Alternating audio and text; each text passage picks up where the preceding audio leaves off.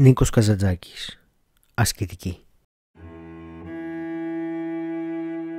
Ερχόμαστε από μια σκοτεινή άβυσο. Καταλήγουμε σε μια σκοτεινή άβυσο. Το μεταξύ φωτεινό διάστημα το λέμε ζωή. Ευτύσως γεννηθούμε, αρχίζει και η επιστροφή. Ταυτόχρονα το ξεκίνημα και ο γυρισμός. Κάθε στιγμή πεθαίνουμε. Γι' αυτό πολλοί διαλάλησαν. Σκοπός της ζωής είναι ο θάνατος. Μα και ευτύσως γεννηθούμε, αρχίζει και η προσπάθεια να δημιουργήσουμε, να συνθέσουμε, να κάνουμε την ύλη ζωή. Κάθε στιγμή γεννιόμαστε. Γι' αυτό πολλοί διαλάλησαν.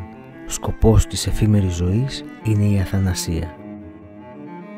Στα πρόσκαιρα ζωντανά σώματα τα δύο τούτα ρέματα παλεύουν.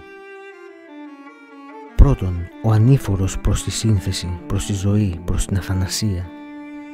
Δεύτερον, ο κατήφορος προς την αποσύνθεση, προς την ύλη, προς το θάνατο. Και τα δύο ρέματα πηγάζουν από τα έγκατα της αρχαίγονης ουσίας. Στην αρχή η ζωή ξαφνιάζει, σαν παράνομη φαίνεται, σαν παραφύση, σαν εφήμερη αντίδραση στις σκοτεινές αιώνιες πηγές. Η ζωή είναι και αυτή άναρχη, ακατάλητη φορά του σύμπαντου.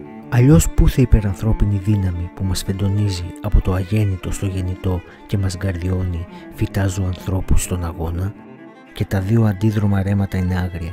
Χρέος μας λοιπόν να συλλάβουμε το όραμα που χωράει και να αρμονίζει τις δύο τελευταίες τούτες άναρχες, ακατάλητες ορμές και με το όραμα τούτο να ρυθμίσουμε το στογασμό μας και την πράξη.